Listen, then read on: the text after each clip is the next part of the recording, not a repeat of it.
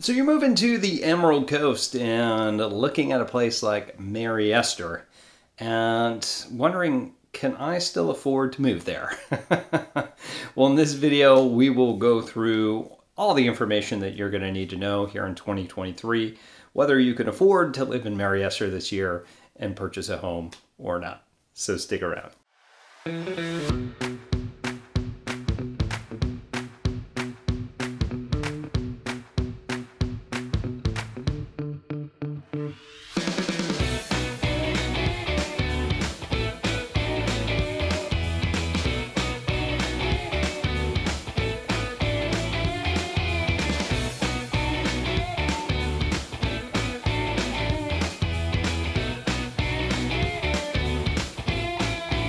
What's up, everybody? This is Tim Whittemore with the Whittemore Group right here in the beautiful Destin Fort Walton Beach area, right here on the Emerald Coast. this is your first time to our channel, we do tons and tons of videos about everything you need to know about our area. Now, as a military veteran of 14 years and now a military spouse, I've moved so many places. Oh, so many places. And every time I moved somewhere, there was always such a lack of information of where to move to and what to experience. That's why we created this channel for you. So go ahead and hit that subscribe button, click that little bell so you're notified every single time we got a new video coming out. Now, honestly, we get tons of phone calls, emails, and texts from people that are moving here. They got some questions, need some help, and well, we absolutely love it. so if you are moving here, got some questions, need some help, you know, give us a call text, email, shoot us that little paper airplane, whatever you got to do, we got your back moving here to our area. So, where is Mary Esther?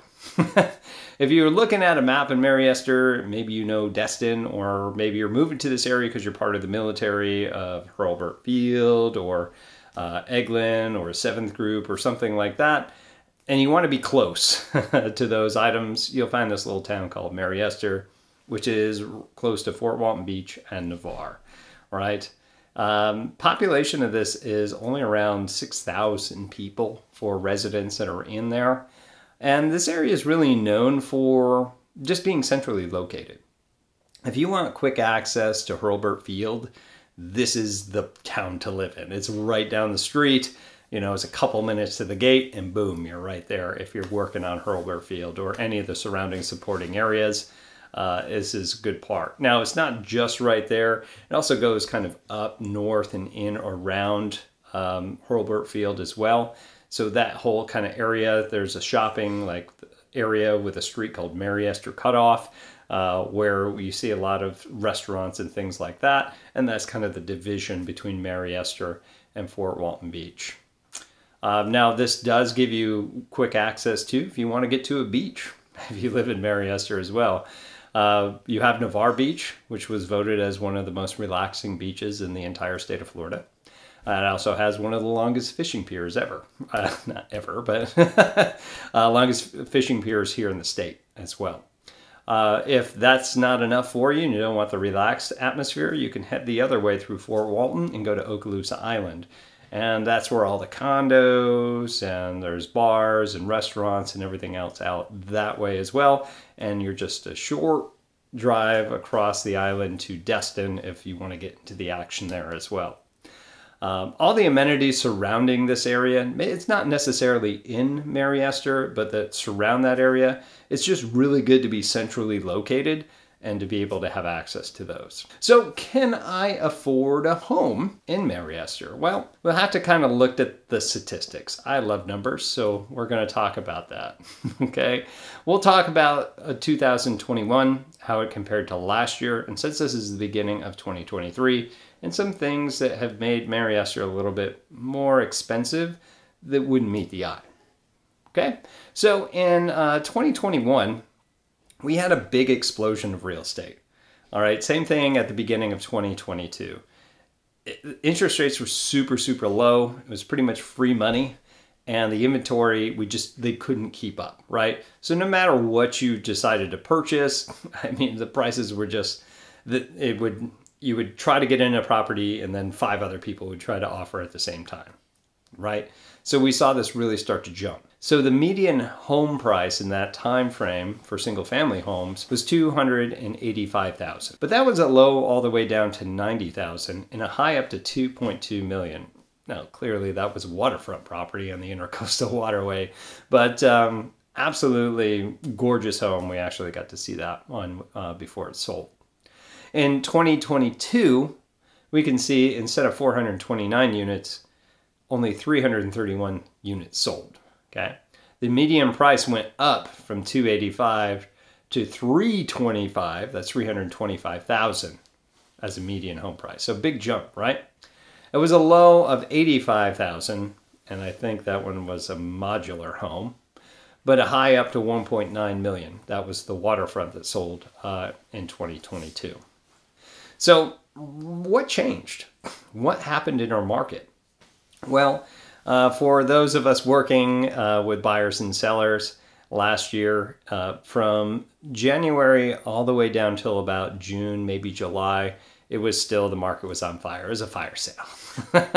things were just going left and things were going right. It was just, it was so hard, and you, the buyers just didn't have any leverage because there was just too many of them, right? That qualified. And then once the Fed started hiring interest rates, are hiring their rates. Uh, of course, the real estate market, of course, their rates followed. They always seem to. And then the buying power started to diminish. Then people started getting worried about the market, so they stopped really start really stopped buying because the interest rates were going up, which means buying power went down. So the pool of buyers started to shrink. The inventory then began to rise, which is actually pretty advantageous for you as a buyer right? So the home prices, instead of just shooting up in appreciation, started to slow. So if you start to see some of these numbers, you can have fun with all sorts of numbers, right?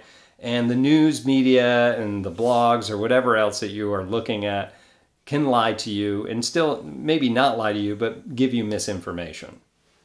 What I'm here to tell you is that they're going to say that there's been a depreciation, but there may be a depreciation in appreciation. What does that mean? So imagine that we had our uh, real estate market and it hit 2020, 2021, and it just started to skyrocket as prices like went fast up, right? And as soon as we started to see a slowdown, it didn't go down. It's just the rate of which it was going up has slowed, right? And normally what we see is appreciation somewhere around three, maybe 4% year over year and now or and at that time it was in some places up to 12% year over year yeah well we're going to see a decrease.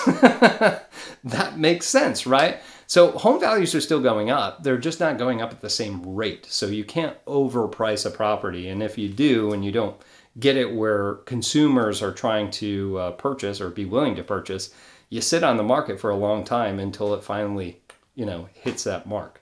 So pricing is really important not that you have to worry about that as a buyer, because now you actually have some pull, because there's not as many of you out there that don't have the same amount of buying power.